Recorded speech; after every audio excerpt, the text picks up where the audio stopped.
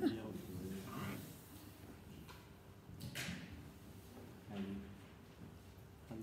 Andiamo.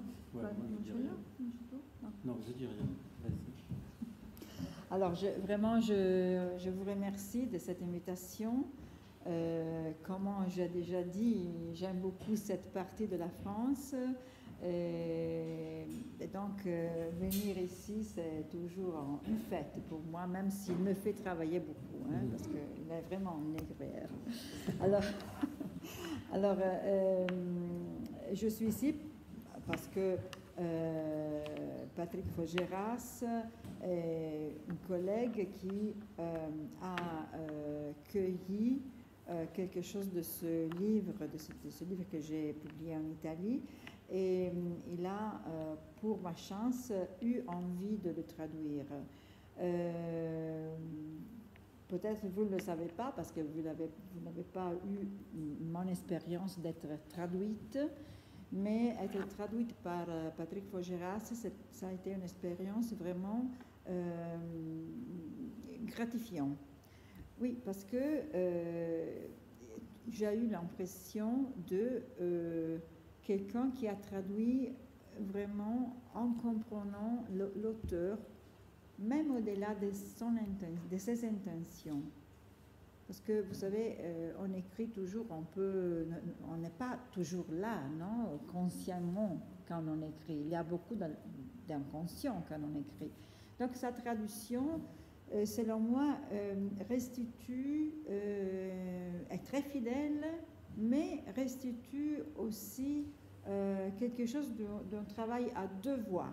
hein. Alors, j'utilise la métaphore de la voix parce que c'est un quelque chose qui me, qui me concerne, mais vraiment, euh, c'est en cas, on dit la traduction, c'est une, une trahison hein, aussi. Euh, en ce cas-là, la trahison s'harmonise très bien. Donc, euh, on est vraiment dans, dans un chant à deux voix, dans un chant à chant à deux voix.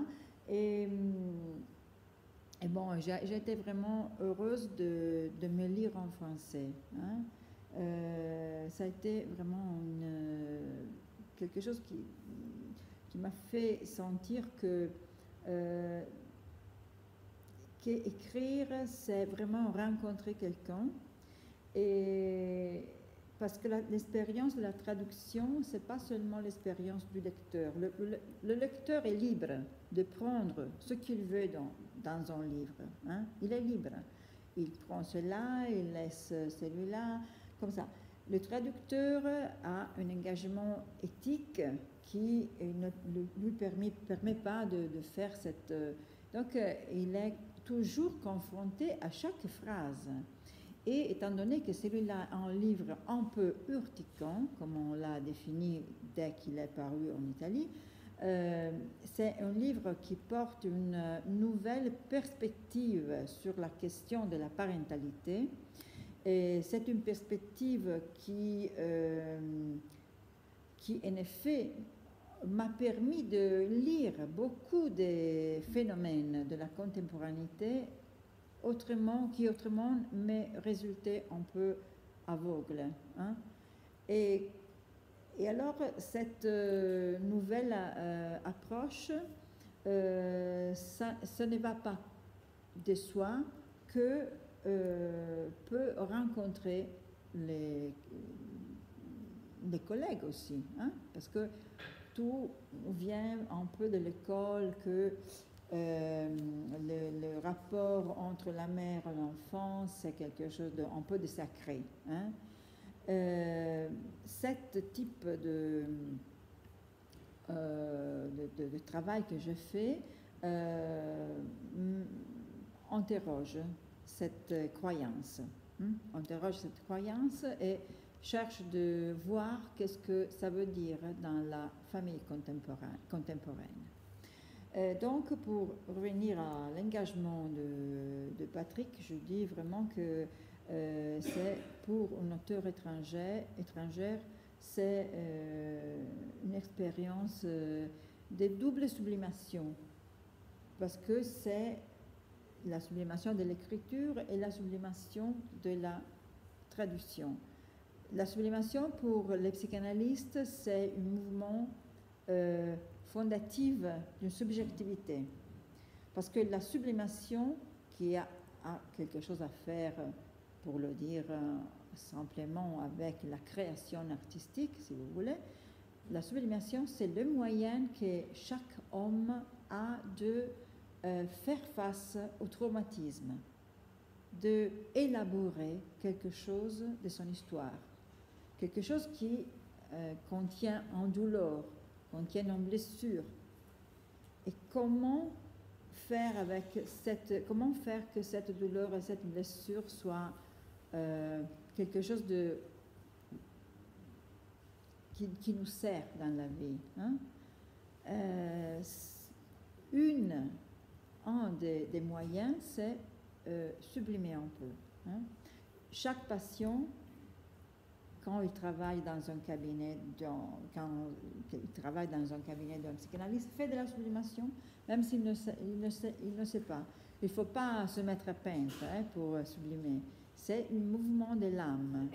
C'est un mouvement de l'âme, c'est-à-dire c'est un mouvement où le sujet rencontre la chose, l'informe, quelque chose qui n'a pas de citoyenneté et peut la transformer en quelque chose qui peut être vécu, qui peut être échangé et qui peut avoir une dimension sociale et même éthique.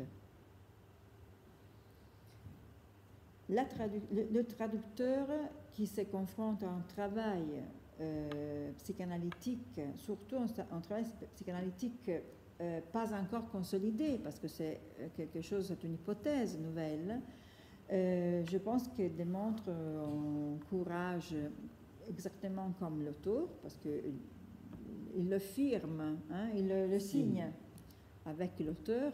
Et donc vraiment, je veux, euh, je veux que euh, cette grati gratitude envers euh, Patrick reste. Et je sais que vous travaillez avec lui. Et donc c'est important que, que, que, vous connaissez même cet aspect, que peut-être ce n'est pas l'aspect que vous connaissez le plus hein, de Patrick. Donc, c'est là ce, que je voudrais dire, hein, comme, comme, pour commencer. Très bien, En fait, c'est moi qui ai écrit le livre, vous avez compris.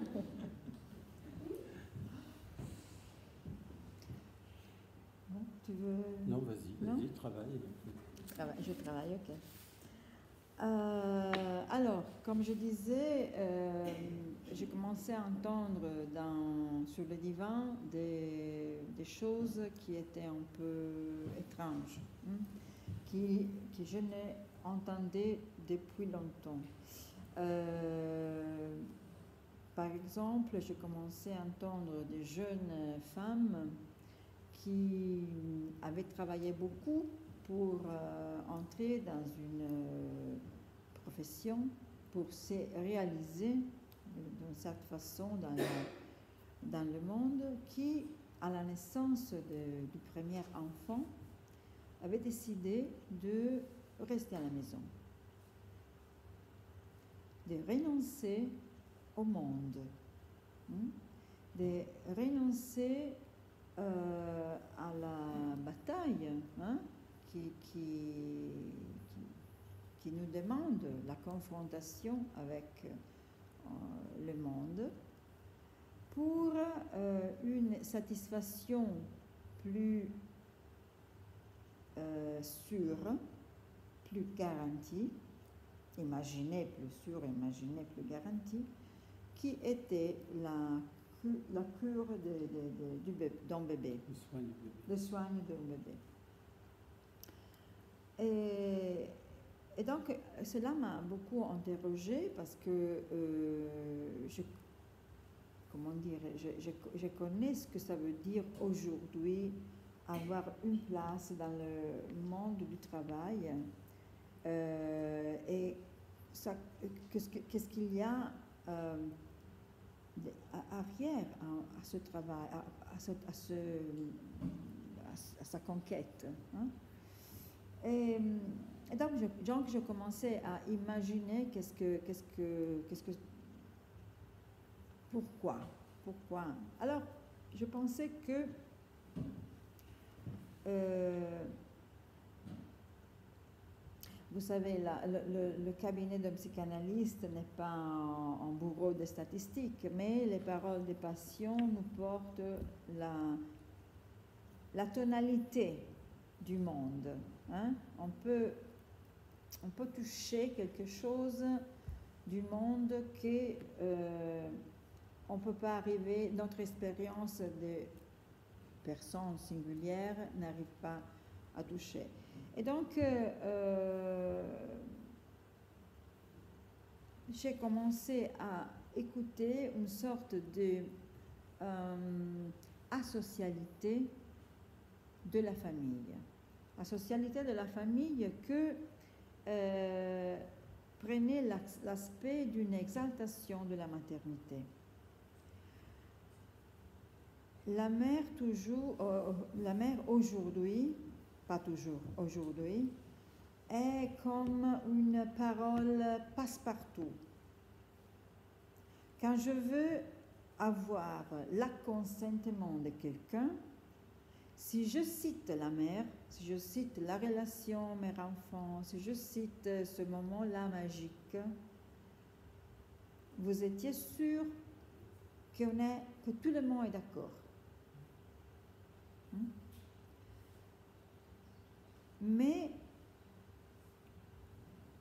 cette, euh, euh, comment dire, cette exaltation un peu euh, acritique de la maternité, malheureusement, quand on rencontre la pensée de la psychanalyse, se fragilise immédiatement pour deux motivations. Parce que la première est que la psychanalyse est une pensée critique.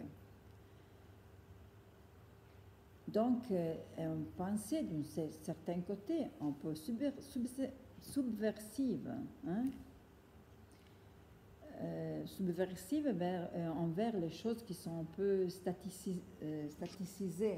Hein? et vers les choses qui, qui semblent un peu idéales aussi. Hein. Quand on voit quelque chose qui est un peu idéal, un peu absolu, un peu fanatique aussi, quand on voit qu'il n'y a pas de dialectique, pour le psychanalyste, il y a la perception immédiatement de quelque chose qui ne marche pas, hein, d'une barrière qui sert à euh, rassurer l'individu, mais euh, ce n'est pas une, rassurance, une, rassurance. qui porte du bien. Hein. La, seconde, motivation, c'est que la psychanalyse a, la pensée de la psychanalyse, le cœur du pensée, de la pensée de la psychanalyse, c'est exactement, exactement le cœur de la relation entre mère et enfant. Dans quel sens? Le cœur de la relation entre mère et enfant, ce n'est pas la symbiose. Parce que la symbiose, c'est quelque chose qui, qui va, qui sait, comment dire, c'est donné. Hein? C'est le corps, c'est euh, le premier stade de l'enfance. Hein? quand tout va assez bien, euh, la mère, et oui, il y a des, cas où il y a un problème même à, partir de là, mais généralement, les problèmes ne commencent, ne commencent pas par la symbiose, commencent après. Quand il y a la seconde phase de la maternité, que c'est la séparation, c'est-à-dire la difficulté d'une mère à se séparer de son enfant. Alors, le cœur de la pensée psychanalytique, c'est exactement la question de la séparation. Parce que analyser, qu'est-ce que ça veut dire sinon séparer? Quand on fait une analyse, qu'est-ce qu'il arrive? Que le sujet arrive en analyse, il raconte sa vie et il commence à séparer des éléments. Des éléments qui étaient enchaînés d'une façon un peu habituelle. Euh, c'est euh, Ce délit. Et se sépare. Et c'est ce mouvement-là qui permet au sujet de faire des nouveaux liens entre ses expériences, entre les choses qu'il a vécues. Pourquoi quelqu'un arrive à voir son histoire d'une manière un peu différente? Parce qu'il a analysé, c'est-à-dire il a séparé certaines expériences, certains links, certains, liens entre les expériences et il, a créé des autres. hein. Alors, vous, vous comprenez que cela, c'est exactement ce que disait, ce qu'on disait avant, c'est-à-dire une expérience de sublimation. Qu'est-ce que fait un artiste à la fin? Prend des matériels, il coupe des choses et il rassemble dans une autre euh, moyenne.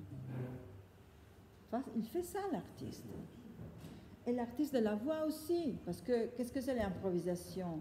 Je prends une harmonie, euh, je coupe la mélodie habituelle et je fais des- une composition différente. Parce que sur cette harmonie, la mélodie, ça va. Mais si je veux improviser un peu, si je, veux faire de l'art, je coupe la mélodie et je la déplace un peu. Il y a des musiciens dans la salle? Non. Ok.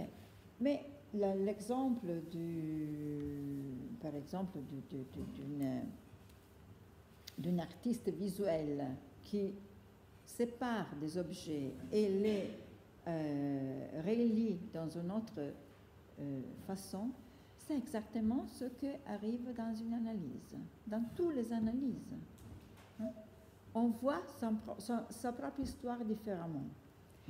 Donc, alors, quand une psychanalyste, un psychanalyste, la psychanalyse entre en contact avec cette nouvelle forme d'idéologie, ne peut pas que se dire halt, qu'est-ce que va, qu'est-ce que qu'est-ce que c'est ça hein?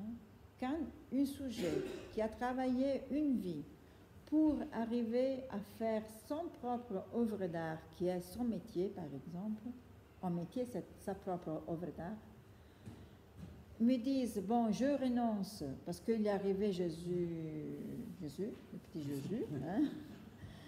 Alors naturellement, euh, il y a quelque chose qui claque, non, qui ne marche pas. Donc, euh, euh, ce qui m'a alerté est voir une certaine forme de régression de la femme. Régression de la femme pour soutenir une puissance imaginaire de la mère. Pourquoi je dis puissance imaginaire? Parce que la, la mère, dans cette hyper-valuation, évalu- Évaluation. évaluation de la maternité, perd la femme en elle. Et en plus, cette hypervaluation, évaluation de la maternité, Valorisation. valorisation de la maternité la rendent très seule. Parce que la société, oui, nous dit, oh bon, la, la mère c'est belle, c'est beau, c'est la meilleure, c'est la chose, c'est ta réalisation la plus vraie, c'est être, devenir mère. Mais en même temps, peut-être en France moins, en Italie plus, il n'y a pas de soutien réel à la maternité. Donc là, c'est un discours idéologique. C'est du fanatisme à quoi sert? Bon, sert à faire plus, plus bébé, naturellement, on est en baisse de cette... Et sert surtout à libérer des, des postes de travail dans une époque où il n'y en a plus. Non? Euh, ne, vous, ne vous surprenez pas de cet euh, discours qui euh, fait une oscillation entre le social et le psychanalytique, parce que moi je crois que la psychanalyse, si... ah bon, moi je crois, Freud le disait, Freud le disait très bien dans son autobiographie, il disait, toute la psychanalyse est sociale. Malheureusement, beaucoup de courants de psychanalystes l'ont oublié ça et ils travaillent seulement dans le renfermement de leur, cabinet, de leur cabinet et ne sont pas la nécessité éthique de s'engager même euh, en donnant la pensée, la, pensée critique de la psychanalyse à la société. Alors, qu'est-ce qui arrive en famille? En, famille en famille arrive que euh, il y a cette cloître, euh,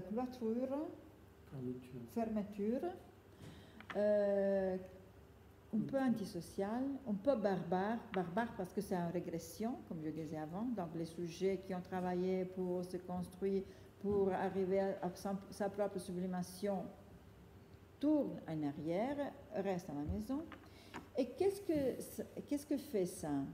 Quel est le résultat? Le résultat, c'est une dépendance, pas seulement de l'enfant envers la mère, parce que l'enfant est dépendant de la mère jusqu'à une certaine époque, mais surtout la dépendance de la mère de l'enfant à l'enfant. Et c'est la motivation parce que ce livre s'appelle Mon enfant m'adore. Quelqu'un hier disait, mais pourquoi vous n'avez pas mm. dit J'adore mon enfant? Parce que la,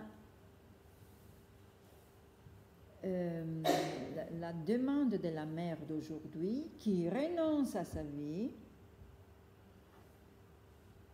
après l'avoir conquise, conquise mm. c'est Exactement, tu me dois euh, risarcire. tu me dois... Euh, hein? Je n'ai pas compris? La reconnaissance. Hein? La reconnaissance. Hein? tu, me dois, tu me dois reconnaître comme ton unique amour. Hein? Donc tu dois m'adorer. Hein? Parce que moi, j'ai oublié ma vie pour, toi. Hmm? J'ai tout sacrifié pour toi. J'ai tout sacrifié pour toi. Donc, euh, euh l'enjeu, c'est celui-là, qu'on est confronté aujourd'hui, pas seulement à la dépendance de l'enfant de la mère, mais au contraire, des parents à l'enfant. À l'enfant. Hmm? Et c'est là, c'est un réversement pervers. Et en effet, c'est l'origine de beaucoup de phénomènes pervers. Alors, qu'est-ce que c'est une famille claustrophile, comme je l'ai décrit dans le livre? Ce sont des familles de plus, plus, plus nombreuses. Ce sont des familles où on fait tous ensemble. Et les gens disent, ouh, que belle famille. Ils vont toujours ensemble à faire les courses, ils vont toujours ensemble au cinéma, ils font les vacances ensemble et les filles sont, et les enfants sont grandis, hein. ils ont 15 ans, 16 ans, 18 ans, 20 ans, 25, 30 ans. Je connais des trentains qui font encore les vacances avec les enfants. Ils, ne sont pas ni des psychotiques, ni, des gens qui apparemment ont des problèmes. Euh, font tout ensemble. les parents sont les confidents des enfants, les confidents de l'enfant. Et cela est, bien vu Bon, tu regardes comment, comment dans cette famille tout va bien. La fille se confie avec la mère. Ah, elle est vraiment la, la vraie amie de la, de, la, de la fille, non? C'est terrible ça. Alors, vous, vous comprenez comment c'est difficile de voir ce phénomène-là, parce qu'il a la couverture d'un amour, d'une tendresse, d'une... Euh, euh, d'eux qui se comprennent, de la compréhension. Euh, maintenant, je connais des ados qui ne font plus des, confidences aux amis, mais ils, se fient, parce que c'est mes filles, mais ils se fient de la mère. Se confient à la mère. Hein? La mère qui après va téléphoner peut-être à son ami, mais tu sais que... ça. Mais euh, la, chose terrible, c'est celle-là, que, que le pacte entre les ados est en péril. Et en péril parce que les, les jeunes filles, par exemple, je pense à certains cas que j'ai rencontrés, les jeunes filles préfèrent se confier à la mère plutôt qu'à une amie. Si vous voyez les, les séries Netflix euh, qui, qui, les, qui les ados regardent normalement, il y en a beaucoup où les amis sont des amis mais ne sont pas des amis.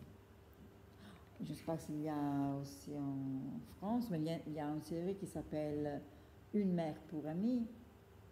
Euh, il y en a des autres où il y a sept amis qui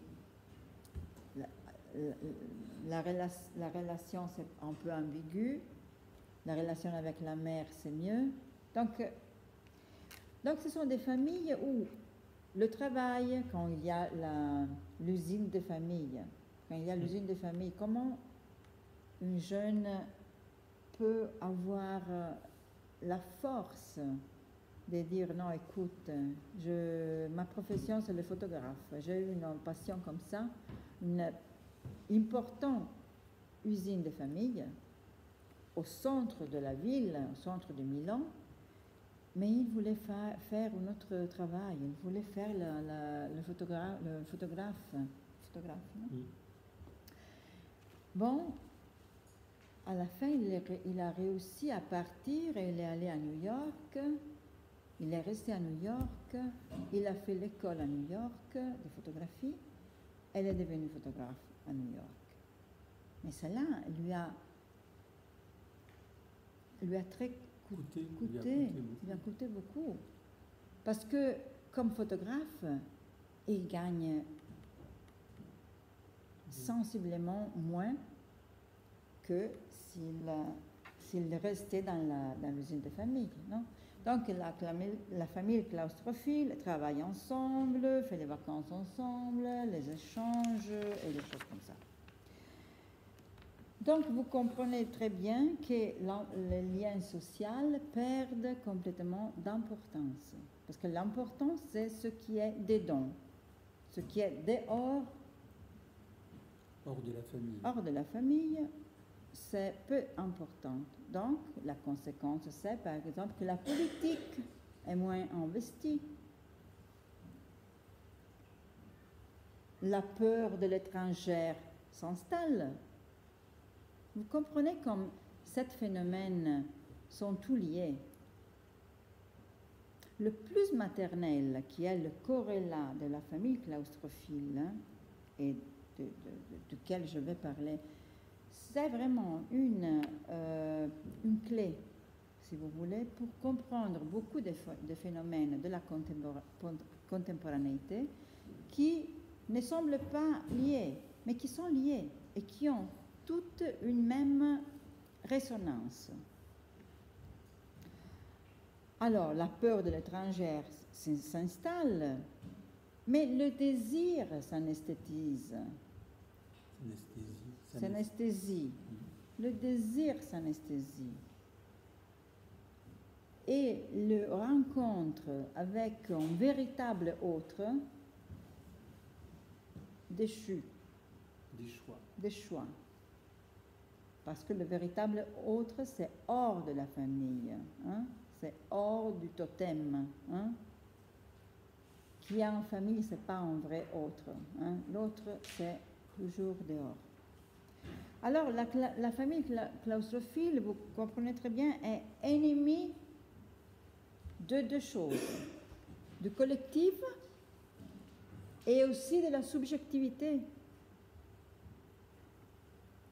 Parce que la subjectivité se manifeste quand il y a un désir. Mais on voit les ados. On voit la chute de désir qu'il qu'il vit aujourd'hui, plus qu'avant. On voit leur adolescence se prolonger à l'infini. Plus s'ébaisse le désir de vie d'un adolescent, plus la longueur de l'adolescence croît, croît, euh, croisse, S'allonge. Donc la famille claustrophile, c'est ennemi du collectif, donc c'est ennemi du monde, des liens sociaux, des liens entre les, les jeunes, hein, euh, et c'est ennemi de la subjectivité, parce que anesthétise le désir, Anesthésie. anesthésie le désir. Peut-être qu'à la fin de cette... euh, je- je- Tu arriveras. J'y arriverai, oui. Euh, donc, ce qui m'a euh, poussé à écrire ce livre, euh, c'est naturellement même des questions de caractère personnel, parce que je suis confrontée à- quotidiennement à, à des questions des, ado- de- des adolescents, soit pour ma pratique, soit pour ma vie privée, naturellement. Et, euh, et je pense qu'il faut dire des choses, même s'il faut avoir un peu de courage, parce que euh, parce on peut pas perdre l'espoir que nos enfants puissent percevoir un jour un horizon, un horizon dont nous ne faisons pas partie. C'est là, c'est très important. Alors là s'installe la question du conflit qui a évoqué avant notre ami. Parce que notre problème aujourd'hui, c'est que les parents ne veulent pas avoir de conflits avec euh, leurs, en- leurs enfants. Ils cherchent de apaiser tout et ils pensent d'être des, parents meilleurs de celles qui ont eu. Mais comme Freud le disait, chaque génération a besoin de, faire, de lutter avec la génération qui a précédé pour exister, simplement, pour exister. Donc avec cet épaisement que nous, que nous pensons de faire avec, euh, euh, envers notre, euh, nos enfants, nous lui enlevons le désir de vie. Nous lui nous mettons en, euh, en péril leur existence subjective. Parce qu'ils ne peuvent pas euh, lutter avec nous. Alors, je rencontre beaucoup d'ados qui sont dans la, dans la mensonge. Ah Bon, je dis comme ça, comme ça, ma mère, elle est contente. Bon, je dis comme ça, comme, comme ça, mon père euh, ne me casse pas. hein.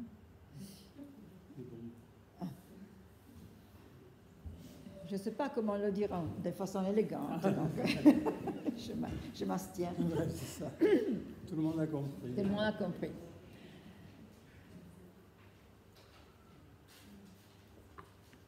Alors, le- les parents aujourd'hui ne veulent pas savoir qui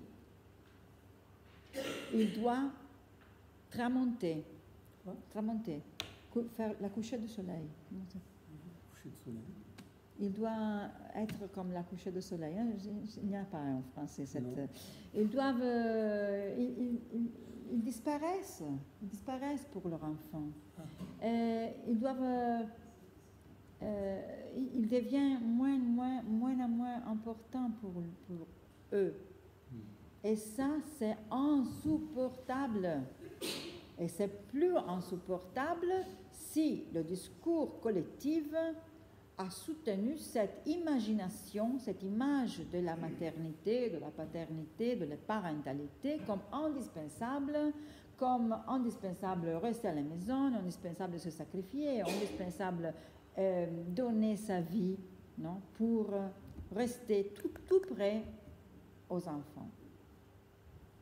Donc, une mère qui a sacrifié tout, comment peut affronter pas seulement la séparation, mais le fait qu'un jour elle ne fera plus partie de la quotidiennité de ses enfants? Parce que c'est là la question. Je connais des personnes qui sont âgées, hein, qui sont âgées comme moi, qui écrit tous les jours à la mère, qui téléphone trois, quatre fois par jour à la mère. Mais ce sont pas, ce sont peu. Je ne parle pas de passion, hein, des gens qui peut-être un peu bouleversés dans leur euh, vie dans leur vie. Mais je parle de personnes que je connais, des amis, des collègues parfois. Ici, pas très loin, à Grignon, il y avait Madame de Sévigné. Madame de Sévigné, qui a lu le livre, c'est que je dédie, euh, dédie à, à, à, Madame de Sévigné beaucoup de pages parce que c'est la même question, Madame de Sévigné. Je me rappelle, à, au lycée, on, on m'a expliqué que Madame de Sévigné, c'était la vraie mère. Je disais de ma mère, oh bon, je, oh, ma mère, c'est pas, un, pas, la vraie mère. Pas la vraie mère. Pas une hein? mère. Pas ma mère, mais, là, mais là, elle n'est pas comme ça, attentif. Hein. Et, et, donc, euh, la vraie mère, c est, c est, je ne sais pas si on, dans le lycée en France, on, dit, euh, on enseigne toujours, on enseigne la même chose, mais vraiment, en Italie, on dit que Madame de Sévigné, avec cette écriture euh, élégante, euh, qui, qui, écrivait beaucoup, trois ou quatre euh, lettres par jour. par jour, à sa fille, à sa fille, c'était la vraie mère. En plus, quand sa fille est partie ici en Provence, parce que le mari a eu une, une poste ici en Provence, près de, près de la de, de, comme euh, gouvernateur de la région, quelque oui. chose comme ça. Elle a tout fait pour se réunir avec sa, fille. Elle a tout fait. Naturellement, la fille était anorexique, elle avait beaucoup de pathologies de, la, symbiose, hors temps entre mère et fille. Donc, donc euh, si les parents et les enfants sont encombrés par leur relation, vous imaginez comme euh, il y a une subtile contrainte, toujours voilée par l'amour et la tendresse. Hein? Il y a une subtile contrainte. Alors, je j'ai renoncé à tout pour toi, donc qu'est-ce que tu fais Tu vas, tu pars, tu me laisses ici. Tu veux, tu veux étudier à l'étranger, peut-être tu vas t'installer là-bas, parce que là, il n'y a plus de travail qu'ici, qu'est-ce que je fais ici Non? Toutes des choses comme ça. Euh, alors, euh, ce que on a oublié, selon moi, c'est la, une sorte de définition de la famille, c'est-à-dire que la famille n'est pas quelque chose de biologique. Même s'il part de la, de la biologie, elle n'est pas quelque chose de naturel. Elle est un pacte, un pacte social, un pacte culturel, une question d'éducation symbolique. symbolique. Ce n'est pas une question de euh, génétique, hein? Une question d'éducation. On n'est pas mère ou père par le sang, hein? on est mère ou père par la parole. C'est la parole qui fait la famille. Les, petites histoires qui les petites histoires qui font la famille, non? Quand la famille se réunit et raconte des petites histoires, le roman familier, non? Disait Freud. Monde familial. Roman familial. Hein? Le roman Ah, familial. le roman familial. Le roman familial. Donc, euh, euh, c'est ça qui fait la famille. C'est- la parole. C'est pas coucher avec le- l'enfant, qui c'est une pratique euh, désormais euh, généralisée. Une femme me disait, bon, euh, je lui disais, mais écoutez, mais vous dormez avec mon fils, il, a- il a 9 ans, il est un peu, un peu grand. Mais écoutez, dans, dans, la classe de mon fils, tout le, tout le monde dort avec sa mère. Et cela est confirmé même par les hum, institutrices que j'ai rencontrées. Donc, euh, pourquoi on ne peut pas faire du co-sleeping? Parce que le co-sleeping n'est pas neutre. Le corps de la mère n'est pas neutre. Le corps de la mère est une excitation continue, une sollicitation continue par le corps euh, vers, envers, euh, l'enfant. Alors, vous, ima- vous imaginez euh, les, euh, les jeunes filles sont très précoces, les adultes aussi, hein, même dans les ex- explorations sexuelles. Alors, qu'est-ce que va faire une jeune fille de 4 ans, par exemple? 3 ans, 3 ans 4 ans, les filles découvrent déjà les, grandes lèvres, dé- découvrent, non? Les petites lèvres, comme ça. Alors, où la petite de 3-4 ans fait ses explorations Dans le lit de la mère Ça vous semble que tout va bien Ou il n'y a pas une petite euh, couleur de perversion en ça? L'enfant n'a pas son lit. L'enfant n'a pas la possibilité de se confronter à ses, euh, à ses peurs, peurs, à ses peurs, à ses pulsions et à ses peurs aussi. L'homme noir, euh, l'ombre sur le mur, euh, toutes les choses que chaque enfance a vécues. Mais l'enfant d'aujourd'hui, il ne peut pas vivre ce que l'enfance a vécu dans l'humanité. Se confronter à ses propres peurs et chercher dans le fond de soi les ressources de résilience pour élaborer cette tâche sur le mur. Qu'est-ce que c'est? C'est une fantôme ou c'est quelque autre chose? Alors, il peut imaginer une histoire. Créativité, sublimation. hein? Ça, commence comme ça. hein? Donc, c'est pas pas neutre dormir avec euh, nos enfants. C'est pas neutre. En plus, le corps de la mère est pulsionnel pour un enfant. En plus, l'enfant n'est pas un petit, ange.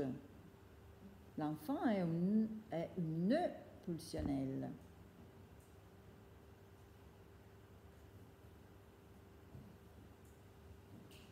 En plus, et avec cela vous m'haïrez, en plus, la sexualité féminine, c'est pas seulement disloqué dans la génitalité. La sexualité féminine, c'est généralisé dans le corps. La sexualité féminine a un organe en plus qui est la peau. Pourquoi les femmes demandent aux hommes de les embrasser, de les caresser, de dormir euh, couchés ensemble, embrasser, enlacer, comme ça la, peau pour une femme, c'est un vrai organe sexuel. Peut-être pas pour toutes. Peut-être beaucoup d'hommes ont ce type de pulsionalité. Mais c'est important ça. Alors, c'est là, qu'est-ce que ça veut dire? Ça veut dire que je rappelle une femme qui m'a dit, écoutez, le corps d'un mâle ne me donne pas la même jouissance que le corps de mon bébé me donne quand je le étreins à ma poitrine. poitrine. Et le fait terrible, c'est qu'elle n'est pas folle. C'est que c'est comme ça. La jouissance qui donne la peau de son propre fils, c'est vraiment quelque chose de incroyable. Mais c'est quelque chose de abyssal. L'être humain n'est pas construire, construit pour faire face à l'abîme. L'abîme, le comment dire, le, le fait pl- plonger dans l'abîme. hein. Donc, euh, c'est vrai, c'est vrai qu'il y a une, euh, une jouissance dormir avec ses enfants. Mais c'est une jouissance mortifère, abyssale, avec laquelle un sujet, une mère, mais un père aussi, parce qu'il y a beaucoup de pères qui sont plus maternels, hein, euh, ne, peut, faire face à, quelque chose de si géant.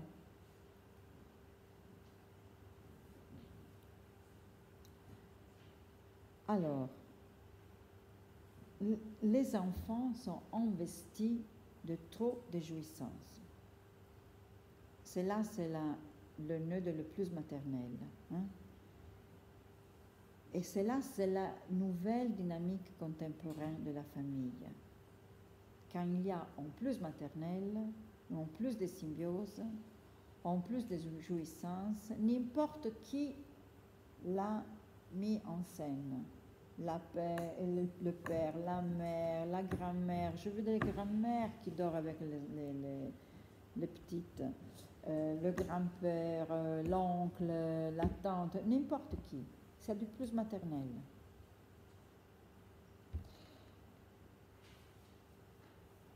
Donc, quand il y a une jouissance en excès, voilée par l'amour, voilée par la tendresse, voilée pour quelque chose qui sent, qui sent bien, c'est quelque chose qui sent bien, c'est là la difficulté à le, à le cueillir. Même pour nous, même pour nous qui travaillons avec euh, les familles, avec les couples, avec les enfants, on n'arrive pas, on n'arrive pas à le cueillir. Et on se, euh, on se répare. On se répare. On veut pas, on veut pas voir ça. On veut pas voir ça. Les gens, les, gens, les gens ne veulent pas savoir ça. Ne veulent pas savoir. Même entre nous qui nous faisons ce travail-là, et si nous ne comprenons pas cette question, c'est difficile, euh, comment dire, faire, notre, faire bien notre, notre métier. Parce que tout glisse, tout glisse dans les mains. Ça semble une famille bien, ça semble que bon, la relation, bon, comment, comment il se comprend très bien, bon, tout glisse. On n'a pas, nous n'avons plus des utiles du métier. Le plus comprendre le plus maternel, c'est simplement un utile du métier qui vous ne fait pas perdre du temps et qui, et qui ne fait pas perdre du temps à votre passion. C'est un peu euh, fort ce que je viens de dire, hein, mais euh, c'est une clé de lecture. Vous ne devez pas, euh, comment dire, adhérer com complètement, mais c'est une clé de lecture que je vous prie de tenir compte parce que ça, ça, il peut vous aider dans des situations qui sont un peu glissantes, dans lesquelles vous ne savez plus comment faire. pour vous en sortir et pour faire sortir les gens qui vous devez soigner.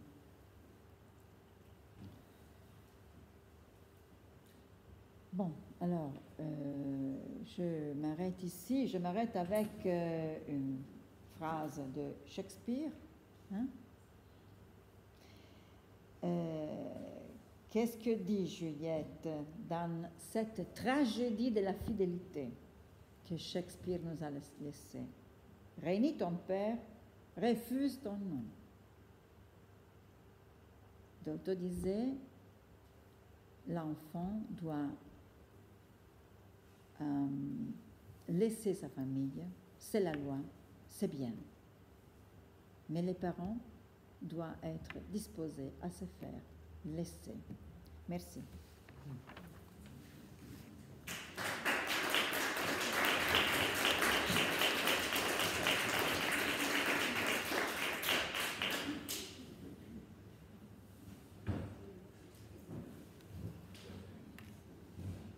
Bien. Je pense que ça a soulevé un certain nombre de questions, de réactions. De... Elle a dit qu'on pouvait la haïr, donc si Ah vous oui, avez oui. des- Je suis cris de habituée. haine à pousser, euh, allez-y. Mais euh, voilà, on est là, on nous reste un bon moment pour pouvoir discuter ensemble, euh, euh, voilà, entre nous. hein. Peut-être que si, si je vous montre quelques images du moment où la chose a monté. Pas des choses horribles. hein. Non, non, pas des choses horribles. Aujourd'hui, pas des choses horribles. Hier, fait ved- voir des choses horribles. Alors, je ne sais pas si vous le voyez.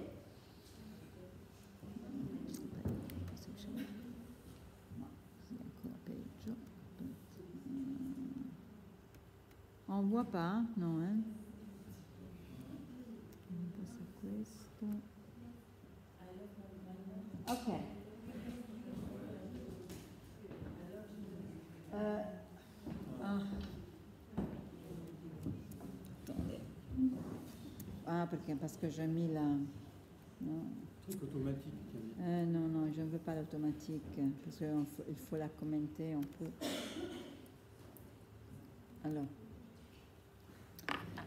Euh, ce garçon-là, un garçon de 17 ans, euh, que j'ai vu, c'était pas un photomontage, parce que c'est moi qui ai pris la photo, sur le lac de Garde. C'est un garçon allemand, donc c'est pas, c'est pas même un mammone italien, hein? un garçon allemand? I love you, mom, d'une épaule à l'autre. Quand je lui ai demandé si je pouvais le photographier, il était très euh, Content. de, faire, de se faire photographier. Alors, je me demande, premièrement, le, le poids qu'il a sur les épaules. Et seco- secondairement, que- qu'est-ce que va dire la jeune fille qu'il va rencontrer? Pas, pas de place pour elle. Pas de place pour elle. hein? Ok.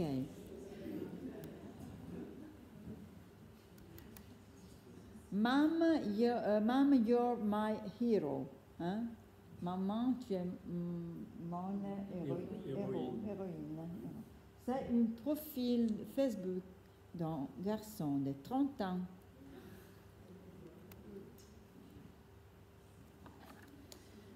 Euh.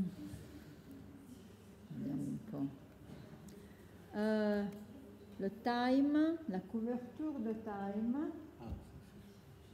Alors, euh, hier, on m'a fait noter qu'il y avait des French rejection, hein, et non. Donc, euh, euh, sei mamma, euh, scusa, je parlais italien. Tu as, tu as, tu as mère assez, tu es une bonne maman. Qu'est-ce que fait la bonne maman? La bonne maman allaite jusqu'au... S'il y a un, un enfant de 6 ans, elle est sa vraie mère, hein, c'est pas une, euh, modèle. hein. C'est la vraie mère et le vrai enfant. Et comme je disais hier aussi, il y a quelqu'un qui a demandé à l'institutrice de, de pouvoir entrer à l'école euh, de la fille de 9 ans avant du repas, parce que la fille de 9 ans était, avait l'habitude de prendre, de prendre un peu, de téter un peu avant le repas. Bon, la directrice a dit que oui. C'est ça le problème. Quand même la société, le comptage, c'est partout. Le comptage, c'est partout. La société, incarnée dans la directrice, n'a pas dit que non, madame, à 9 ans. À 9 ans, il y, a, il y a des filles qui ont leurs règles. Qu'est-ce qu'ils font? Mais ici, il y a aussi une euh, culpabilité des hôpitaux. Euh, je reçois les larmes des mères qui sortent des hôpitaux où les obstétriciennes disent aux mères, vous devez allaiter, allaiter, allaiter. Il y a cette euh, forme de tyrannie, hein, hein, tyrannie d'injonction pour allaiter, allaiter tout le temps. Euh, le, bébé ne doit pas, doit, pas, doit pas crier. Hein? Il doit pas manquer. Il ne doit pas manquer. Il doit pas manquer. Alors c'est là l'autre question qu'elle avait individuée très bien, la question de la perte. Nous sommes dans cette type de société où le consommateur, le petit bébé, le petit garçon qui deviendra le consommateur, a sa tétine à disposition exactement comme chaque consommateur a, par exemple, les euh, boutiques ouvertes 24 heures sur 24, 7 jours sur 7, toujours à disposition. Le consommateur doit être quelqu'un qui ne doit pas manquer de rien. Notre fille ne doit manquer de rien. C'est ça que nous élevons pas, nous élevons pas des sujets, mais des consommateurs. Alors, pas tous les mères peuvent allaiter, mais c'est pas là que se joue la partie de la maternité. C'est pas là.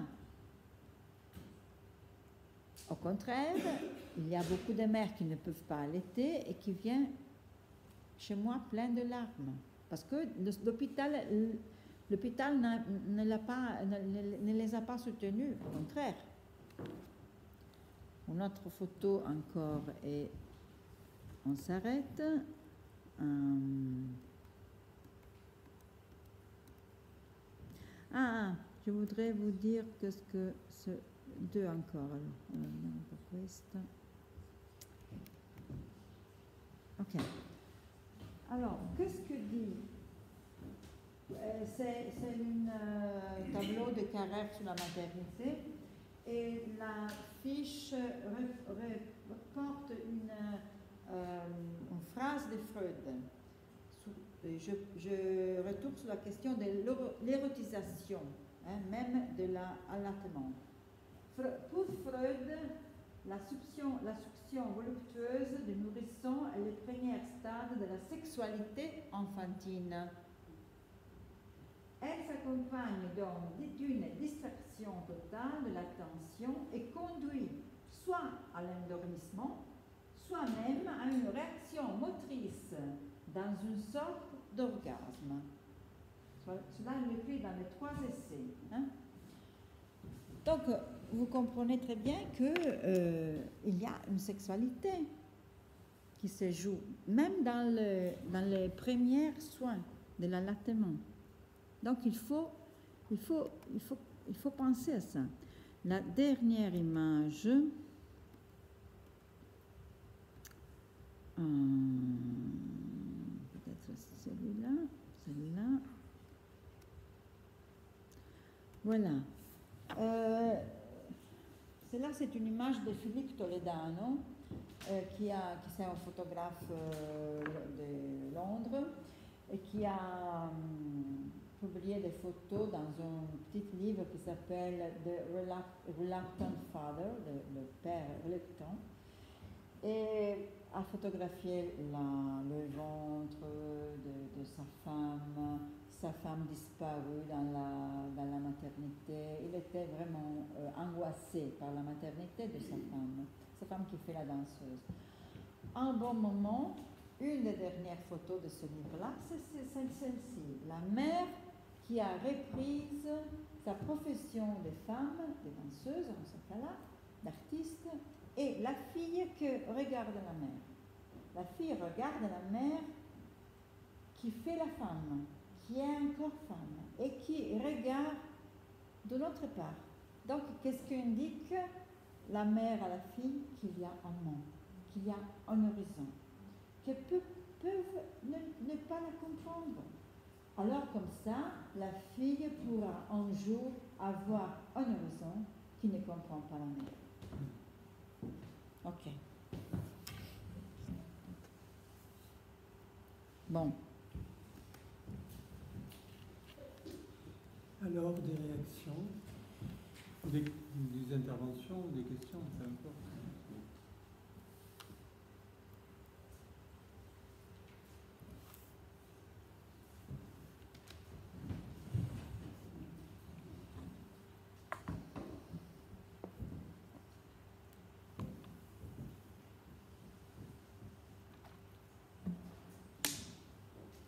Dans un de tes articles, tu dis qu'il y a en Italie des mouvements pour l'allaitement euh, continu, quoi. C'est-à-dire, hein, tu disais qu'il y avait, tu parlais de groupes comme ça, de femmes qui se réunissent et qui euh, euh, oui, qui font des flash mobs, qui utilisent des chansons rap, par exemple, nous allons à la et c'est- la chanson originale, ça, a été On va commander, elle chante On va allaiter, et dans, dans la rue, dans la rue, dans la mer, euh, je vais allaiter, je fais ce que je veux, je ne regarde pas la balance, je regarde ce que me dit le ventre, euh, des choses comme ça. Donc, euh, il y a comme une revendication politique de, de l'allaitement à l'infini. infini. Et cela, c'est très périlleux parce que, parce que ça semble que la révolution, entre guillemets, hein, euh, passe par, par là, ne passe pas par là, passe pour ceux qui nous a enseigné, qui nous ont enseigné les gens qui, dans notre époque, ont été confrontés au concept de révolution. C'est-à-dire, les, féministes, qu'est-ce que disaient les féministes? C'est une chose très simple. La puissance de la mère augmente, la puissance de la femme décroisse. Il ne faut pas confondre les deux choses. Maintenant, qu'est-ce qu'on fait? On nous fait croire que la puissance de la mère soit la, puis- la puissance de la femme, soit la puissance de la mère. C'est pas comme ça. La puissance de la mère fait noyer la femme. Cela, c'est très important. La question du féminine, c'est très difficile parce que c'est un équilibre entre, entre deux, cho- deux choses qui sont compliquées. Être mère et être femme. Les deux peuvent n'être pas rassurants. Surtout la féminité est une question infinie pour une femme. Pour un homme. Pour, pour un homme aussi. oui. Pour un homme aussi. La femme euh, ne sait pas ce que c'est être une femme. Aucune femme est sûre de sa féminité. Mais quelqu'un, quelqu'une pense de euh, détourner cette difficulté avec la maternité. Non, le problème se représente. Plus, grosse, plus grossi. Mais il y, a une, il y a une question qui me semble être en amont de ce que tu dis, qui est une question qui, moi, me, en analyse, j'entends souvent chez de jeunes femmes, par exemple, la question du désir d'enfant. Mhm. Je ne comprends jamais de quoi les personnes parlent quand elles parlent du désir d'enfant. C'est-à-dire qu'il y a par exemple des personnes, des femmes qui disent que depuis toujours, elles ont désiré des enfants. Et donc la question va être de rencontrer quelqu'un avec qui faire un enfant. Mais on se rend compte que le quelqu'un est... euh, Accessoire. voilà, accessoire. C'est un accessoire, voilà. Ou bien, euh, par rapport à cette question de mère-femme, il y a effectivement quelque chose, une question, je trouve, très délicate sur la, ce qui se joue pour une femme au moment de la naissance d'un enfant et de ce trouble dans lequel elle peut se trouver à un moment donné pour pouvoir euh, déterminer ce qui peut être euh, du côté du féminin ou du côté du maternel. Il y a quelque chose là je dirais presque d'un point euh, de suspension comme ça. Mais j'avoue quand même que, même avec le temps, parce que ça fait quand même longtemps que j'entends des femmes parler de leur désir d'enfant, je ne sais pas véritablement de quoi elles parlent.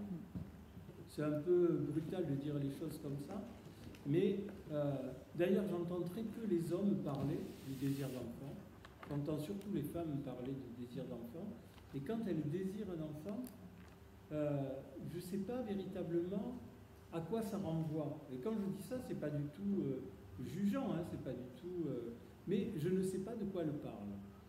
Des fois, j'ai l'impression que c'est le prolongement du rapport au doudou, euh, etc. Il y a quelque chose comme ça. D'autres fois, j'ai entendu que ça pouvait être une façon de, de devenir véritablement femme, comme s'il y avait un passage par la maternité pour pouvoir se découvrir femme, en quelque sorte. C'était un passage obligé. Mais je pense que chaque fois, il y a quand même un enjeu qui me paraît très très compliqué. Et pour une femme, je pense que c'est vraiment euh, très difficile. Et puis, il y a une autre question qui était celle que j'amorçais un peu hier, qui est quand même une distinction qui me paraît importante entre la relation mère-fille et mère-fils. J'ai jamais entendu de rapport plus compliqué, passionnel, difficile, etc., que les relations mère-fille. Quand les, les analysantes parlent de leur relation à la mère, euh, c'est des rapports, mais euh, passionnels, c'est des rapports absolument incroyables, et on, se demande comment le travail de séparation va pouvoir s'effectuer à un moment donné. Et alors, c'est pas que du côté de la fille, c'est aussi du côté de la mère. J'ai même des situations qui sont assez fréquentes, par exemple, quand euh, une mère et sa fille sont fâchées, par exemple, la fille s'est mariée, la mère ne supporte pas le, le gendre, euh, etc. Elle a choisi cet imbécile alors qu'il y avait l'autre qui était euh, le prince charmant qui était juste à côté, et elle, elle le vise comme toujours, comme d'habitude, euh, sur le mauvais cheval, voilà. Mais la, la jeune femme va avoir un enfant. Et là, il y a le grand retour de la mère, qui, où il y a à nouveau une relation qui va se nouer entre la mère et la fille, qui permet de se rendre compte que dans le fond, ça a presque été une parenthèse, le moment où cette euh, jeune femme a rencontré euh, un gars. C'était presque une parenthèse dans ce lien comme ça euh, du maternel. Ce que je ne vis pas exactement sur le même mode entre mère et fils. Ça me semble être. entre mère et fils, il y a quelque chose. moi, je le pense souvent comme ça. Je me dis, ce qui est difficile dans la relation mère-fille, c'est que la mère et la fille sont du côté du même. Et que c'est vachement difficile, quand on est du côté du même, pour introduire de l'écart et de la différence. Tandis que quand une mère met au monde un garçon, la différence des sexes fait que la différence est présente dès le départ. Quoi. Même si après, il y a un phénomène comme ça d'identification qui va passer par un autre bord. Mais il y a de la différence dès le départ. Tandis que dans le rapport mère-fille, cette différence-là n'est pas posée. Et souvent, les psychanalystes ont parlé de la nécessité que la femme puisse faire un travail de séparation d'avec la mère pour pouvoir rencontrer l'homme. Mhm. Et que parfois, il y a des situations qui sont assez tordues, où il n'y a pas eu ce travail de séparation, et la rencontre avec l'homme va être marquée par cette non-séparation mère-fille. Mais je pense qu'il y a une différence quand même dans la façon dont hein, on peut. euh, voilà. Je sais pas. Et puis, il y a une chose aussi dont tu n'as pas parlé, mais que tu avais évoqué hier, qui était la relation aussi père- père-enfant. C'est-à-dire que tu, tu- tu parles du plus maternel, mais c'est ce qu'on disait tout à l'heure quand on travaillait ensemble. C'est-à-dire, le plus maternel n'est pas l'apanage de la mère, de la femme. Le plus maternel, l'homme peut s'inscrire dans un plus maternel par rapport à son enfant. Tu es d'accord là-dessus? Ah oui. Oui. Donc c'est un positionnement qui est euh, peut-être plus marqué du côté du féminin, mais qui existe aussi du côté du masculin, qui est aussi, euh, voilà, c'est une fonction. quoi. Il y a une fonction plus maternelle qui va être remplie à un moment donné. De la non-séparation, tu donnes dans le livre un exemple du rapport entre un père et sa fille. Ah oui. Voilà, c'est-à-dire, euh, je le dis à ta place parce que tu es un peu fatigué, je vois, mais euh, d'une. Laura reçoit un père qui raconte que sa fille, qui a 16 ans et qui vient d'avoir sa première relation sexuelle, lui a dit que cette relation, d'abord qu'elle avait une relation sexuelle et qu'ensuite cette relation sexuelle s'était mal placée. Et Laura, Pas, dans, pas complètement satisfaisant. pas complètement satisfaisant. Bon, d'accord. Ok. Donc, Laura, dans le livre, interroge cette euh, première chose qui est le plus important, c'est comment se fait-il que cette fille va raconter à son père ce qu'elle a pu faire avec un garçon Qu'est-ce que c'est cette, euh, ce que tu disais tout à l'heure sur euh, cette sorte de confidence comme ça et qui est connivence entre une fille et son père, voilà. Et puis en même temps, quelque chose qui est un peu plus rigolo, mais la surprise du père, du fait que sa fille, qui doit être quand même un être absolument extraordinaire, la première fois qu'elle a une relation sexuelle, elle ne monte pas au plafond. Hein, c'est ça que tu dis. Voilà. C'est-à-dire qu'il y a le père qui s'étonne de cette. Et ça, on dépasse là, on est dans un autre, euh, un autre niveau, quoi, hein, quand même. Mais je trouve que les pères peuvent se trouver aussi dans cette situation-là. hein, de, Le plus maternel, oui. dans le- il y a quand même quelque chose que l'on ne, ne cite pas, mais qui est quand même sous-jacent à ce qu'on raconte, c'est quand même, ça frôle avec l'inceste, l'incestuel, quoi. Il y a quelque chose. Il y avait un psychanalyste français, Racamier, qui faisait Ah la oui. différence entre ce qu'il appelait l'incestuel et l'incestueux. Quand il parlait d'incestueux, il parlait du passage à l'acte hein, sexuel. Tandis qu'il disait qu'il y avait des situations qui étaient incestuelles, où la proximité était trop grande, où il y avait un partage d'une jouissance qui ne devait pas avoir lieu, mais où il n'y avait pas de passage à l'acte sexuel. Et c'est une notion qui est très importante parce que on pourrait à la limite la déplacer aussi au niveau des fonctionnements institutionnels. Il y a des fonctionnements institutionnels qui sont dans l'incestuel. D'accord? C'est-à-dire qu'il y a quelque chose comme ça de l'ordre du partage d'une jouissance qui semble faire communauté, mais qui ne fait pas communauté. Ou un type de communauté qui est une sorte de communauté fusionnelle, presque sectaire. Alors que le collectif, justement, va lui supposer quelque chose de l'ordre de la séparation, hein, du travail de distanciation. Et il y, a une, il y a des liens, je veux dire. La famille, c'est une institution. Les institutions dans lesquelles nous bossons sont aussi des institutions. Ce serait intéressant de voir, selon les institutions, les modes de fonctionnement et les modes relationnels qui s'instaurent, euh, qui peuvent avoir un caractère comme ça, incestuel, c'est-à-dire qui relève un petit peu de certaines perversions. Tu es d'accord Ah oui. avec ça? Ah oui, absolument. Oui, parce que le plus maternel, euh, euh, c'est vraiment pervasif. Euh, quand vous, avez, vous êtes confronté à l'idéalisation des langues, de De je ne sais pas le dire là, un ou non. uno, dell'uno, c'est-à-dire un, un UN, vous êtes dans le plus maternel, mais dans des phénomènes très différents entre eux. Par ex- je, veux- je veux- vous fais l'exemple le plus extrême. C'est lui dans le, pour lequel vous pouvez dire, mais non, mais c'est pas comme ça. Quand il y a du fanatisme, qu'est-ce que se produit? Même au niveau politique. hein. Qu'est-ce que c'est produit? C'est produit que la parole de l'autre n'a pas d'importance. hein. Parce qu'il y a une foi. On croit. On a une foi. La pensée critique est, comment dire, euh, mise en parenthèse. Donc, le fanatisme, c'est, comment dire, le, le centre de la vie. hein. Quand il y a cette croyance dans l'un, c'est la même croyance dans le plus maternel. Et les institutions aussi, aujourd'hui, sont plus maternelles. Je vous montre deux exemples.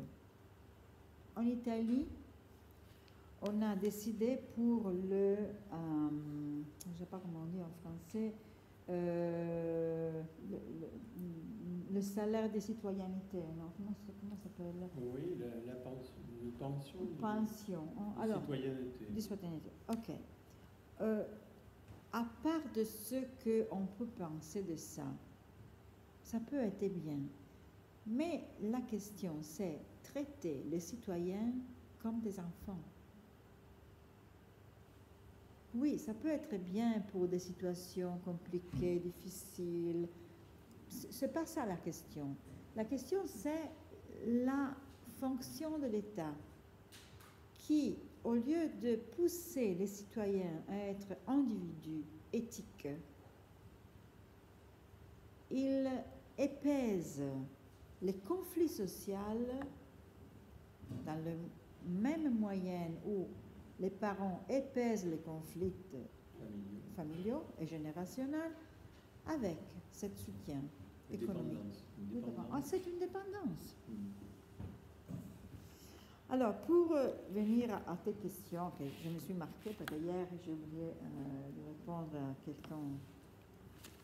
Alors, c'est très intéressant ce que tu as dit. Alors, le désir d'enfant. Le désir d'enfant, c'est quelque chose qui, on fait, il faut, il faut le travailler beaucoup parce que euh, il ne faut pas qu'on le confonde avec, comment dire, une habitude sociale, une, quelque chose que la, que, la, que, la, que la femme a entendu dans sa vie, non, comme une tradition, comme quelque chose qui n'est pas vraiment elle. Nous, les psychanalystes, nous, nous, nous savons combien est difficile de trouver un désir pour un sujet. Il faut des années de travail. Le désir, ce n'est pas quelque chose qu'on fait comme ça et là.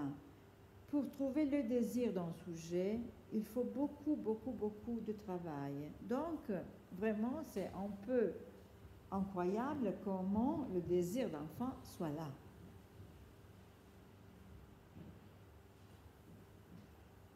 Et certainement, il faut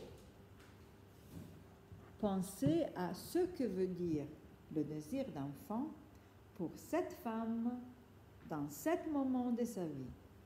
Quel trou va imaginairement à remplir? Après, oui, on fait les enfants, c'est quelque chose de normal faire les enfants. C'est pas désagréable. non C'est pas désagréable non plus. Mais le- monter la question comme le désir d'enfant, mais faire les enfants, n'a pas besoin d'être, n'a pas besoin d'être en vrai. C'est- C'est quelque chose qu'on qu'on fait, que- on s'occupe des enfants. Oui, mais écoute, j'ai travaillé avec un, groupe, avec un groupe la semaine dernière. et Il y avait une personne, une dame, une femme, une jeune femme dans le groupe qui disait euh, il faut que je vais avoir 40 ans, il faut que je fasse un enfant. Ah bon, cela c'est pas le après- désir d'enfant. Après, je suis périmé. Ah oui. son expression. hein. Périmé, qu'est-ce que c'est Périmé, c'est quand un produit est- a dépassé la date de Mhm. validation. Voilà. Je suis périmé. Donc il y, a une, il y a aussi une pression à. Il y a une pression, il y a une pression. Et s'il y a une pression, c'est pas un désir, naturellement. Euh, Ah Le oui, désir, c'est libre et surtout, c'est sub- subver- subversif. Mm. Je ne peux pas dire, ah ben je désire. euh, non, je désire un enfant. Oui. Oui, je peux désirer un, en- un enfant, mais ce n'est pas la même question du désir d'un sujet. Mais il y a, je veux dire, une, une femme, par exemple, qui dit euh, Je désire un enfant avec cet homme-là, parce que c'est lié. C'est là À une question. rencontre. Hein, Mais par contre, je cherche un gars pour faire un enfant, ou bien, etc. exactement. C'est pas du tout la même Exactement. pas du Parce que quand il y a une vraie rencontre avec un homme, les Mm. femmes, très souvent, disent Bon, je n'ai pas voulu jusqu'à ce moment-là, Oui, mais là, avec toi, j'ai envie de faire un, un enfant. Ouais, ouais. Et là, c'est le point. La couple peut désirer un enfant, pas un individu. Parce que si c'est un individu qui désire un enfant, cet enfant va avoir un seul parent, même si les deux vivent ensemble. Le désir d'enfant, ça peut être seulement un désir qui vient d'a- d'avoir désiré un homme. Sauf que dans la clinique, on se rend compte qu'il y a quand même euh, un écart entre ce qui est dit Oui. euh, désiré Mhm. et ce qui est inconsciemment désiré. C'est-à-dire des personnes, par exemple, peuvent ne pas vouloir d'enfant et se retrouver enceintes. D'accord? On peut se poser la question de où en est le désir inconscient.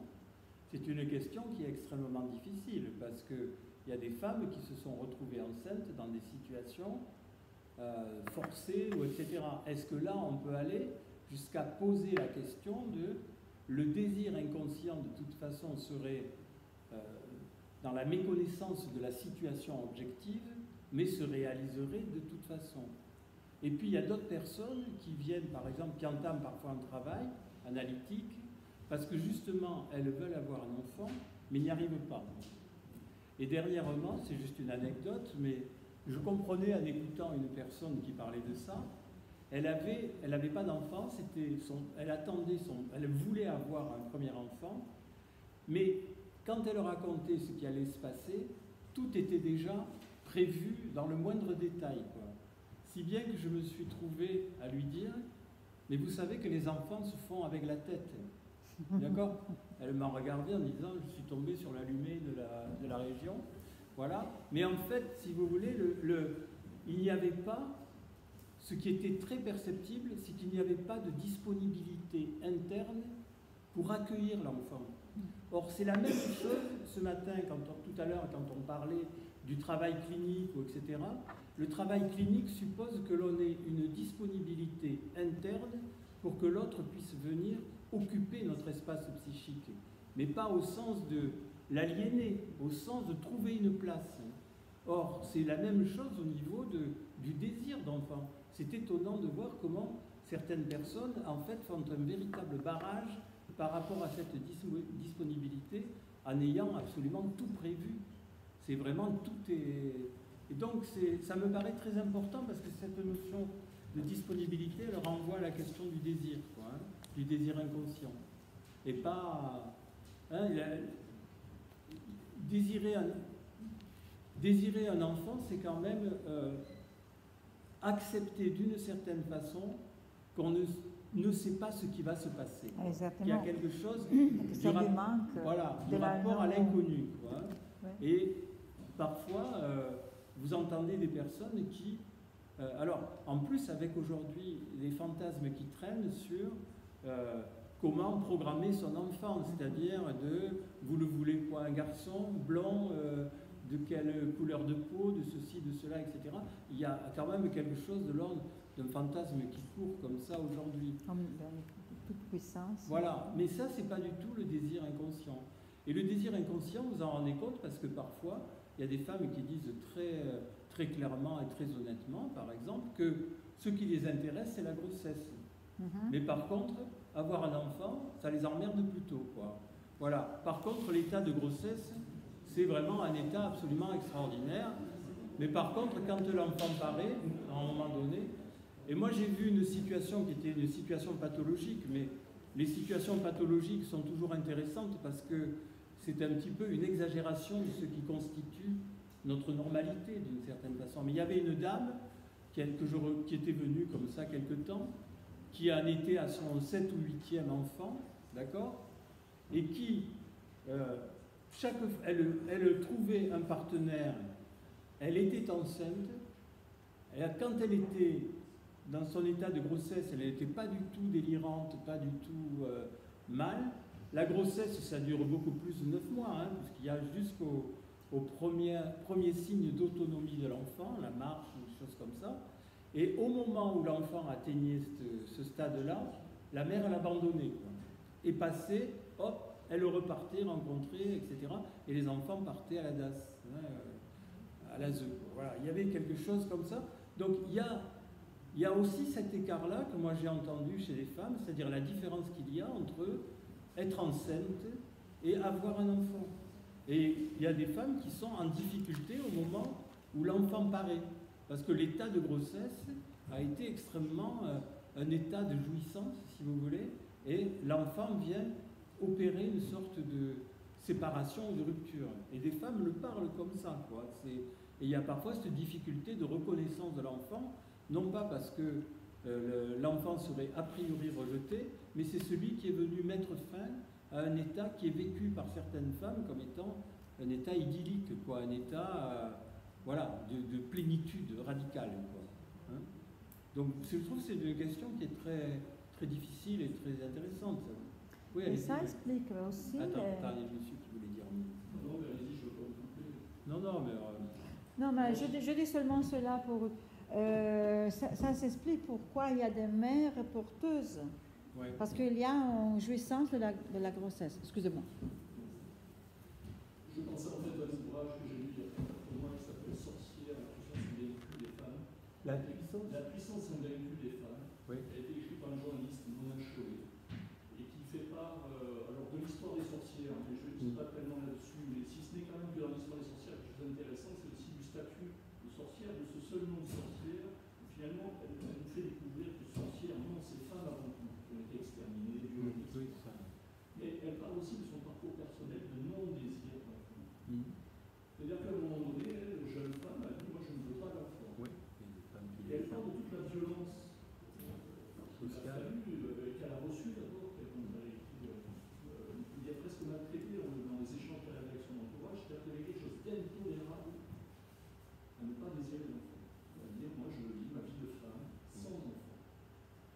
Et alors, ce qui est enfin, amusant, c'est pas tellement amusant, mais euh, il se trouve, bon, il y a eu cette lecture, moi qui m'a frappé, qui m'a aussi interrogé euh, sur, euh, quand j'étais plus jeune homme, à un moment donné, qu'est-ce que c'était que le désir d'enfant, si vouloir un enfant avec une compagne, etc. Bon. Mais dernièrement, euh, il y a eu une information euh, concernant le réchauffement climatique, peut-être que certains l'auront entendu, de dire qu'un enfant est un facteur d'aggravation du euh, réchauffement climatique. Mon enfant, L'enfant est un, un d'aggravation. l'aggravation du réchauffage climatique. la consommation oui. et qui est au moins aussi grave que le fait de consommer trop de viande. Bon. Je, croyais que c'était l'énergie pour le faire.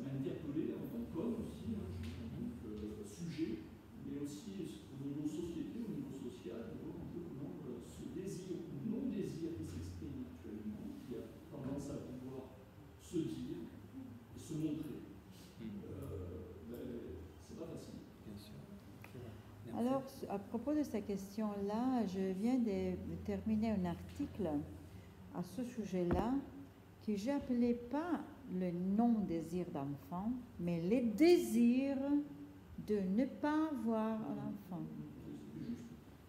Alors, il faut reconnaître qu'il y a des femmes qui ne veulent pas l'enfant, qui désirent n'avoir pas d'enfant.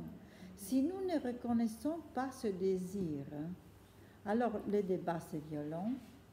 Alors les, les, femmes qui vont avorter sont toutes des folles, presque des sorcières, non? Euh, Mais il faut, si on veut vraiment être dans une nouvelle démarche de la, du féminisme même, hein, il faut reconnaître que beaucoup de femmes ne veulent pas avoir d'enfants, ne désirent, de n'avoir pas d'enfants. Et cela, ça ne veut pas dire qu'ils n'aiment pas les enfants, parce que peut-être ils sont des tantes merveilleuses, des belles-mères extraordinaires, des, institutrices euh, exceptionnelles. Mais c'est un désir de n'avoir pas. paraît très important de dire un désir de ne pas avoir d'enfant. Désir de Plutôt qu'un désir C'est très important, il me semble.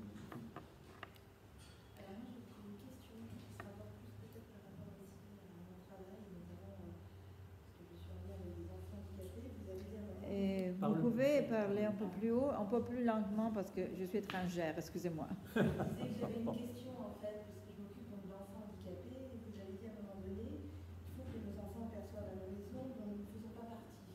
Donc ça, bien sûr, il faut pouvoir exister, mais comment exister quand on est, euh, je veux dire, handicapé et qu'on dépend, je veux dire, au quotidien aussi de, de sa mère et de son père La question c'est l'inverse, c'est-à-dire que quand on a un fils handicapé, on sait que dans son horizon de vie, les parents sont là.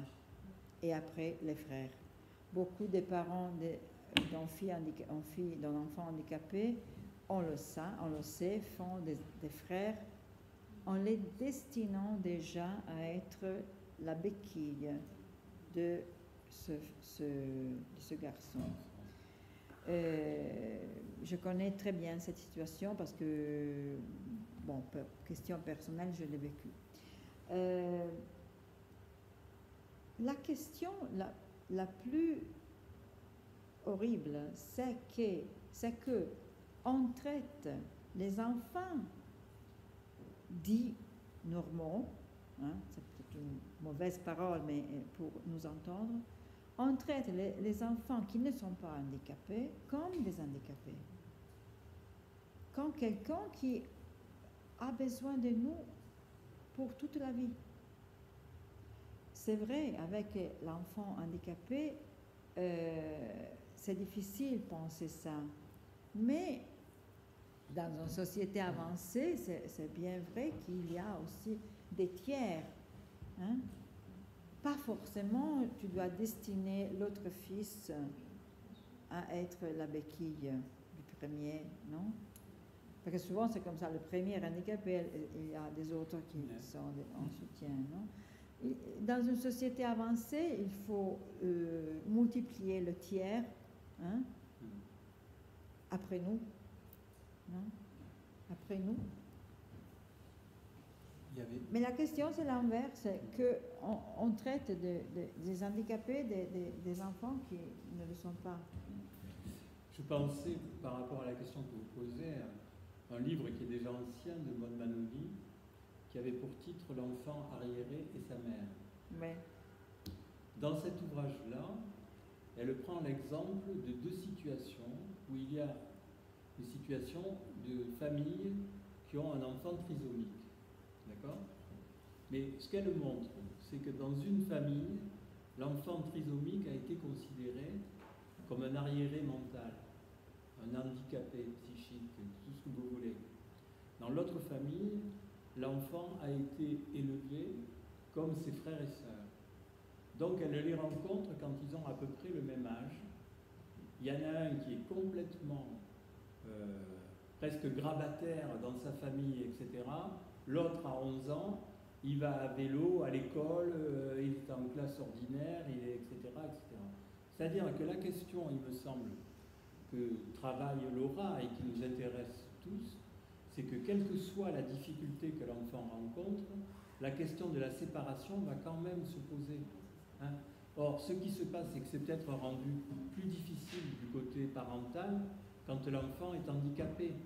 Mais en même temps, on peut se dire que la surprotection dont va faire euh, l'objet l'enfant handicapé, dans le fond, répond à quelque chose d'inconscient du côté parental, qui est dans le fond garder aussi son enfant pour soi à un moment donné. Et que le handicap peut être, parce que je suppose que dans votre boulot, vous percevez à certains moments que le handicap, et c'est un peu terrible de penser ça, peut être aussi entretenu. C'est-à-dire, c'est- je ne dis pas un truc... euh, Donc, il y a trop. la dépendance. Comment La dépendance. la. Oui, c'est une mère qui n'est jamais laissée Mm. à son enfant. Donc le travail est plus difficile quand euh, voilà, mais il est quand même de même nature, il me semble. hein. Oui. Le tiers des institutions, là, c'est fondamental pour travailler la séparation. Mm. Parce que comment faire la séparation avec le tiers des institutions? Vous êtes le tiers. Je voudrais te répondre à la question mère-fille, mère-garçon, parce que hier aussi, on, je n'ai pas, tu n'as pas répondu. Si tu veux, hein Oui, oui. Pas nécessaire. Bon, on voit s'il y a des autres questions.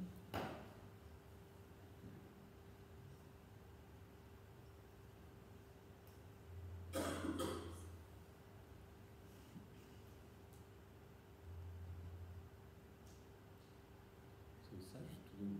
Quelle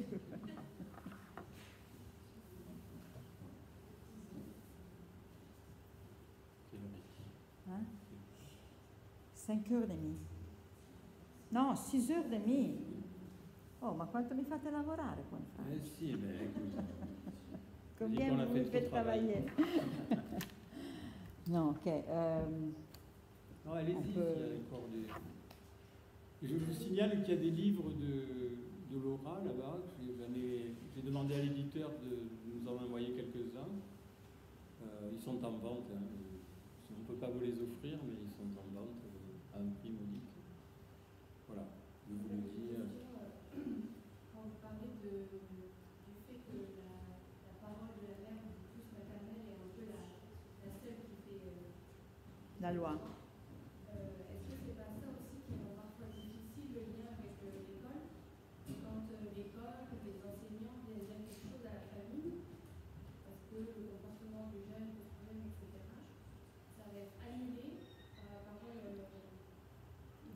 la mère ou Ou de, de parents. oui. Parce Ah que oui, moi, je trouve que c'est difficile parfois, quand on travaille avec ces, ces enfants qui ont des problèmes de comportement à l'école, de, de faire entendre aussi ce qui peut se jouer euh, à l'école et, de, et que ce ne soit pas annulé derrière euh, par la parole. Oui, oui c'est ça le problème, que l'enfant n'est plus confronté avec des différentes versions du monde. C'est là le fanatisme, quand il y a une seule version. L'enfant, il, faut être, il, doit, être confronté à différentes versions du, monde.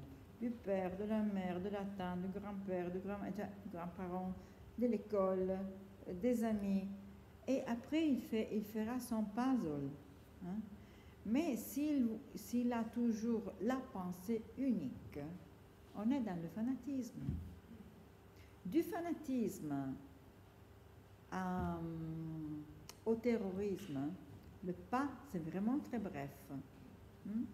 Parce que nous ne sommes plus confrontés à la nécessité d'une dialectique. Et c'est là, c'est le problème. Alors, si un enfant euh, euh, qui, comment dire, qui, qui a une mère qui est trop présente dans l'école, par exemple, ou qui détruit la parole de, de l'ense- de l'enseignant, euh, peut penser que tout le monde obéit à la parole de ses parents, ou d'une seule parent généralement.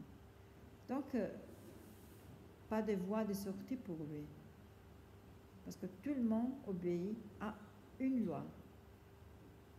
Donc, il est dans la terreur.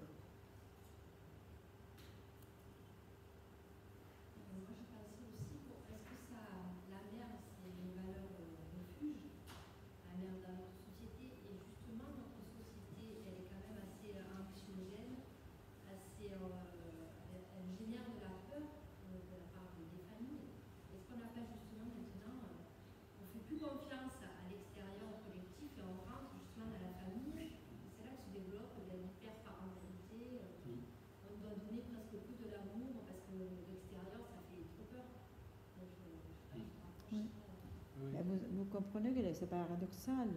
Nous sommes dans la société plus sûre que l'humanité a connue. C'est paradoxal. Non? Donc, les- cette injection de peur qui sert à la politique pour devenir plus en plus, euh, comment dire, euh, euh, répressive, mais idéologique, mais totalitaire, mais pensée unique. Mais vous, vous comprenez que ce sont des phénomènes qui se tiennent. Alors c'est vraiment paradoxal. Euh, les enfants ne sortent plus de la maison. Il y a une déminéralisation des os des enfants. Ce sont des, des données. Ce ne sont pas des, des- hypothèses, ce sont des données. Là, les enfants ont de plus en plus une carence de vitamine 2, D. Des- D. C'est la vitamine qu'on prend en jouant à, dans l'air, hein. Non, ils restent renfermés sous surveillance. hein, la surveillance. La surveillance, c'est la question. Les, caméras dans les écoles, ouh, si, si, tout le monde veut les caméras dans les écoles. Parce que l'enfant ne doit pas être perturbé. hein. Mais sans traumatisme, personne ne peut pas euh, évoluer. Sans traumatisme, tu as toujours euh, des bêtes, des bêtes dans la maison. Alors, il y a des gens qui traitent ces, ces enfants comme les chiens. Mais les chiens ne doivent pas évoluer. Le chien, à 18 ans, ne doit pas sortir de la maison. À 18 ans, il n'arrive pas, mais la, la majorité, ça. la majeure, le majeur âge de- de- de- de- du chien ne doit pas. hein? Donc, à 3 ans, un chien, c'est comme en 18 ans, 18 ans. Et donc, euh, c'est ça. là. Sur la question mère-fille et mère, euh, et mère-homme, euh, bon, c'est c'est très compliqué. Oui. Oui, oui. Non, oui. On s'arrête ici alors. Bah, venez, euh, si vous voulez euh, discuter avec Ah oui, bah, je vais devoir reposer ou pas? Je n'ai pas compris. ok.